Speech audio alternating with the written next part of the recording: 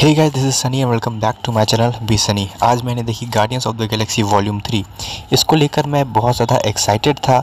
क्योंकि James Gunn की MCU में ये लास्ट मूवी है मतलब आप सबको पता ही होगा कि उनको फायर कर दिया गया था, उसके बाद से फिर उनको ले लिया गया एंड अब तो वो डीसी में मूव कर जाएँगे। वॉल्यूम थ्री से बहुत ज़्यादा एक्सपेक्टेशंस इसलिए भी थी क्योंकि अगर आप मार्वल की पिछली कुछ मूवीज़ देखो no way home and Wakanda for को छोड़ करके तो वो बहुत ही ज़्यादा अच्छा परफॉर्म नहीं किया था उन्होंने। ना तो ऑडियंस को फ़िल्में ज़्यादा पसंद आई थी एंड ना ही बॉक्स ऑफ़िस पर वो फ़िल्में उतनी ज़्यादा अच्छी चली थी। तो इसलिए इस मूवी से एक्सपेक्टेशंस बहुत ज़्यादा थी।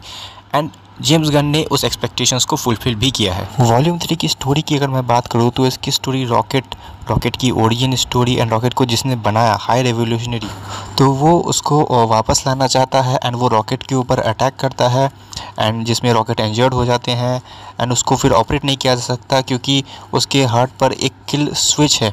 तो अब गार्डियंस उसके लिए हाई रेवोल्यूशनरी के पास जाते हैं क्योंकि उनके पास एक कोड है।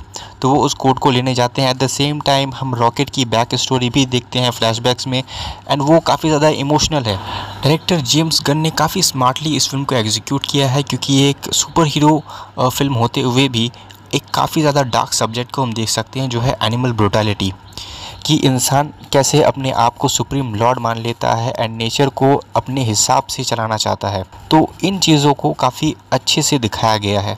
जेम्स गन ने इस मूवी को काफ़ी अच्छे से इमोशनली एग्जीक्यूट भी किया है एंड जितने भी इमोशनल सीन्स हैं काफ़ी ज़्यादा इम्पैक्टफुल लगते हैं। एंड जो लोग एनिमल्स लवर है उनको तो स्पेशली ये फ़िल्म काफ़ी ज़्यादा अच्छी लगेगी एंड काफ़ी ज़्यादा इम्पैक्टफुल लगेगी उनको ये फ़िल्म एंड मूवी में एक सीन है जहाँ पे रॉकेट का सर कट जाता है तो उसके साथ एक क्रिएचर होता है तो वो उसे कहता है कि everything will be all right and वो उसके सर पर एक रुमाल रख देता है। सो so, वो सीन भी काफ़ी ज़्यादा इमोशनल है एंड काफ़ी ज़्यादा हर्ट टचिंग है।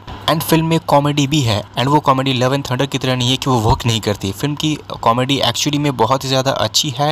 एंड अक्सर हम देखते हैं कि इमोशनल टू कॉमेडी में अगर कोई मूवी शिफ्ट करती है तो वो चीज़ें काफ़ी ज़्यादा जड़की हो जाती है। बट जेम्स गन की मैं इस मामले में तारीफ़ करना चाहूँगा क्योंकि उन्होंने जिस तरीके से शिफ्ट किया है emotional scenes to comedy scenes वो काफ़ी ज़्यादा परफेक्टली एग्जीक्यूटेड है एंड बहुत अच्छा लगता है देखने में। एंड इनफैक्ट एंड जैसा मैंने बताया कि कॉमेडी इसकी वर्क करती है एंड आपको हँसी आएगी कॉमेडी सीन्स में।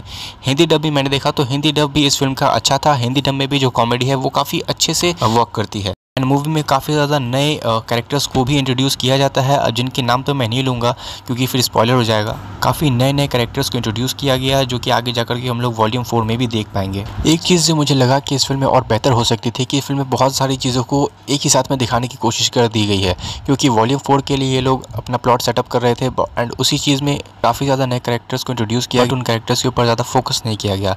इसलिए वो सीन्स थोड़े बहुत लैक करते हैं एंड वो चीज़ थोड़ा बेटर हो सकती है इसके अलावा इस मूवी में वो सब कुछ है जो एक मार्वल मूवी लवर्स को चाहिए। मतलब इस फ़िल्म में एक्शन है, इस फ़िल्म में इमोशन है।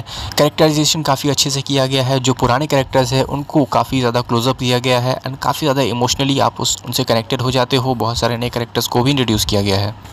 और क्योंकि ये मार्वल की मूवी है तो वीएफएक्स के बारे में तो यार मैं क्या ही कहूँ वी एफ़ भी इस फ़िल्म का काफ़ी अच्छा है एंड काफ़ी लाइट टोन में काफ़ी सही वीएफएक्स है, मज़ा आता है देखने में। एक्शन सीन्स काफ़ी ज़्यादा चौपी है, काफ़ी मज़ा आता है एक्शन सीन्स को देखने में। ग्रूट का एक सीन है जहाँ पे उनके बॉडी के अंदर से बहुत सारे गन्स निकलते हैं एंड वो सीन वाकई में काफ़ी ज़्यादा गज़ब लगता है देखने में। पीटर क्विल की एक्टिंग तो यार गज़ब ही वो बंदा यार छा गया मूवी में। एंड गमोरा एंड नेमुला भी है फ़िल्म में, जो कि अपिम पार्टिकल्स के थ्रू आई हैं तो उनके भी सीन्स काफ़ी अच्छे हैं। सो ओवरऑल मुझे फ़िल्म काफ़ी ज़्यादा अच्छी लगी एंड आगे वॉल्यूम फोर के लिए काफ़ी ज़्यादा चीज़ें सेटअप कर दी गई हैं एंड मैं इस फ़िल्म को देता हूँ थ्री स्टार्स एंड वीडियो पसंद आया होगा आप लोगों को वीडियो को लाइक कर देना, चैनल को सब्सक्राइब कर देना। मिलते नेक्स्ट वीडियो में, तब तक के लिए गुड बाय